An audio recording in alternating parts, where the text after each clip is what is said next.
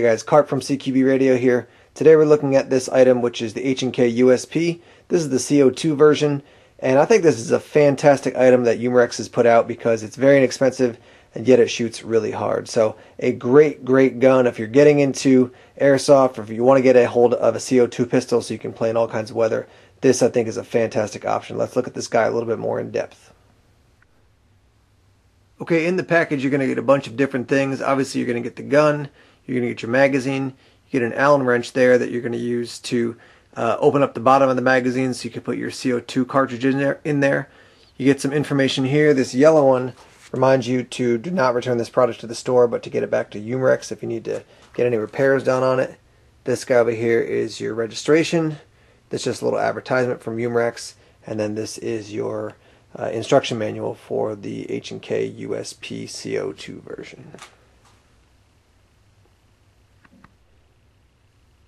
Okay, now the first thing I want to note is that if you want real trades, this is a great option for you. So you can see HKUSP down here on the bottom of the pistol grip. Up there on the top you get H&K USP.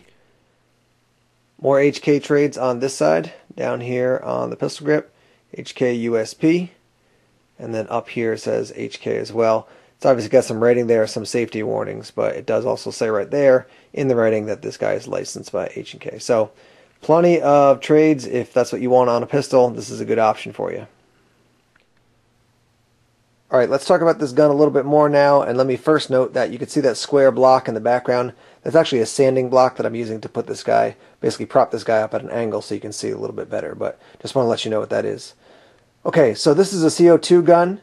It uh, does not have the blowback feature that you get on you know most gas blowback guns. This upper slide is metal. The lower portion of the gun is plastic. It's not like a super high quality plastic, but it does feel um, solid. It's not going to break on you.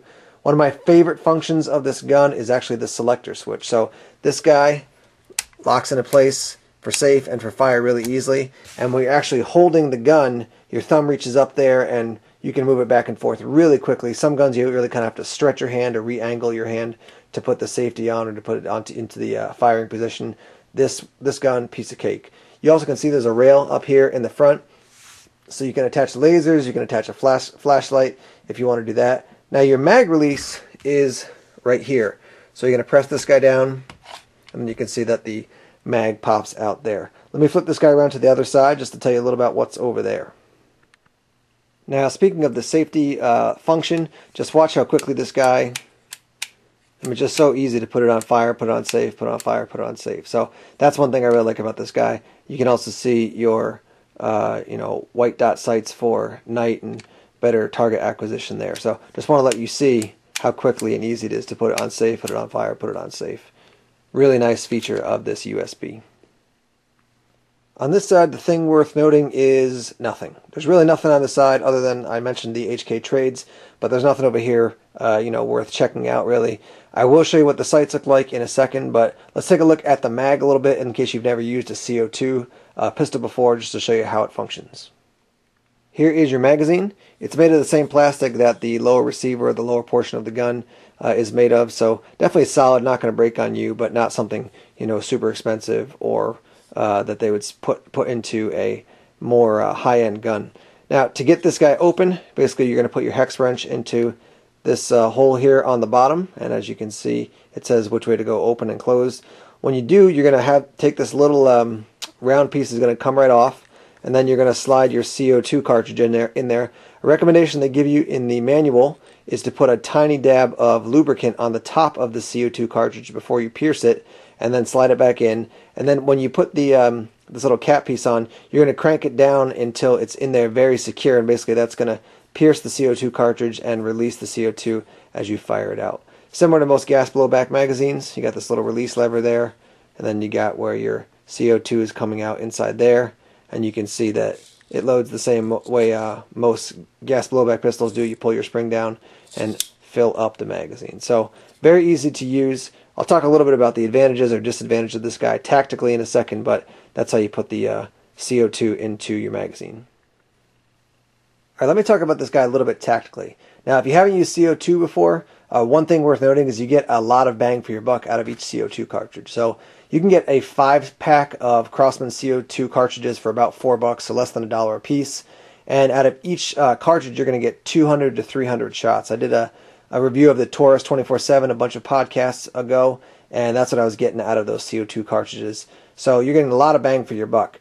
Now the disadvantage is if you buy another mag and you got two CO2 cartridges, one in each one in each mag, and say you unload two full mags, you still got, you know, if you get say 200 shots out of each mag, you got 400 shots that you could use and you've only used say, you know, 30 shots or 40 shots, 40 BBs, you got a lot of wasted CO2 there. So as compared to green gas, you usually get, you know, two to two and a half, maybe three mags out of each um, out of each fill with your green gas. So pluses and minuses there. Definitely a plus of CO2 is you can use it in colder weather as opposed to green gas or propane that definitely suffers in the warm weather or in the uh, cold weather.